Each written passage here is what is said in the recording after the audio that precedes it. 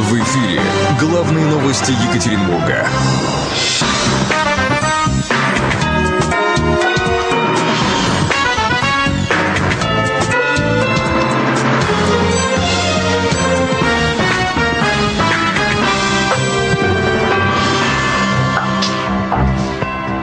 В Екатеринбурге 7 вечера. Это главные новости Екатеринбурга. Здравствуйте.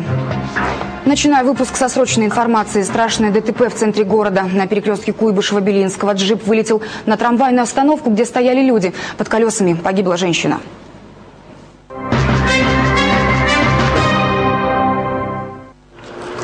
По словам очевидцев, автомобиль «Сузуки» двигался по Куйбышева. Перед улицей Белинского решил сократить путь и выехал на попутные трамвайные пути. Однако вовремя вернуться на свою полосу не успел. На момент ДТП на остановке находилось несколько человек.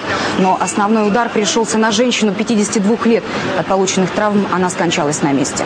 Еще два человека с ушибами и переломами сейчас находятся в 36-й городской больнице. Пострадал и пассажир «Сузуки». Сам же водитель отделался испугом. Сейчас он задержан и дает показания.